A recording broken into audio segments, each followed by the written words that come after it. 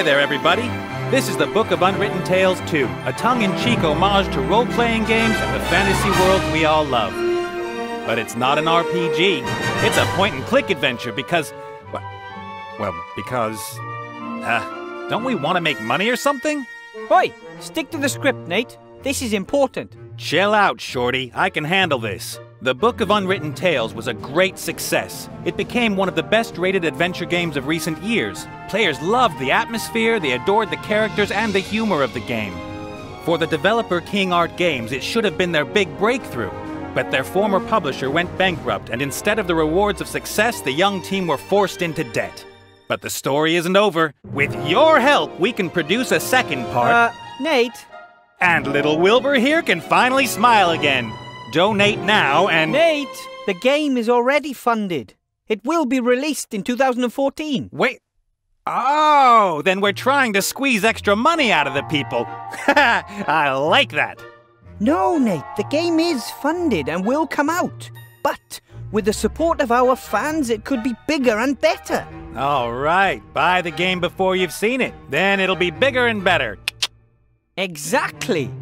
There are many things that are standard in role playing games or action adventures that you usually can't afford in the production of an adventure game. But who wants the status quo? We want to break our adventure out of the mould. Did you ever question why adventure games don't normally have many optional puzzles or alternative puzzle solutions? The answer is it's expensive to implement these things. But wouldn't it be cool if you could choose to go with us on a whole bunch of side quests, just like in an RPG?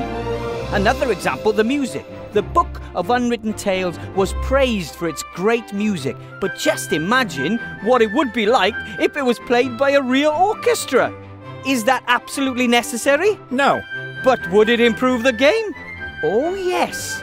If you don't want to work with real-time 3D graphics because you want to have very detailed backgrounds, even on older computers, you normally have to cope with the fact that the cameras in the scenes are rather static. And yet, you could do much more with the right technique. It's just a whole lot of extra work. That the players should pay for? I don't know. If a developer wants things like that in their game, they should pay for it or drop it. Exactly. That's why everyone usually drops it. We're already making an excellent game, and people can buy it when it's finished. Or we'll make an even better game and give it to the backers for less. Or if they want, they can pledge even more and receive rewards that normally wouldn't be available. Can't we just stick to the poor development team needs money to make the sequel to a great game story? We don't need the money to finish the game, but we need it to make all the cool stuff that normally wouldn't be made. We want to make the best game possible. And if you want to help us with that, we're looking forward to your pledge.